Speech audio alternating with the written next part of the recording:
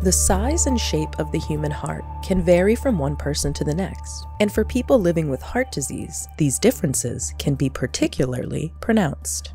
A team of MIT engineers are hoping to help doctors tailor treatments to a patient's specific heart form and function with a new, soft, custom robotic heart.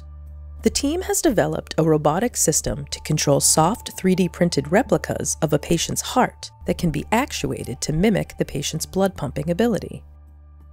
The procedure involves first converting medical images of a patient's heart into a three dimensional computer model, which the researchers can then 3D print using a soft polymer based ink.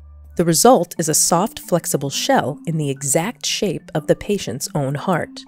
To mimic the heart's pumping action and the motion of the aortic valve in disease, the team has fabricated sleeves similar to blood pressure cuffs that wrap around a printed heart and aorta.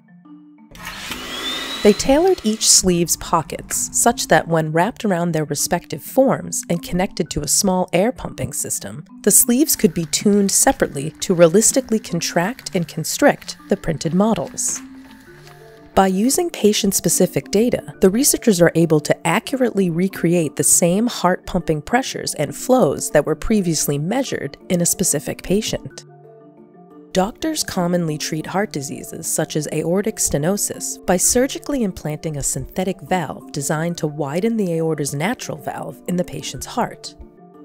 This new system, developed at MIT, would allow doctors to first print a patient's heart and aorta, then implant a variety of valves into the printed model to see which design results in the best function and fit for that particular patient, informing specific surgical decisions and procedures.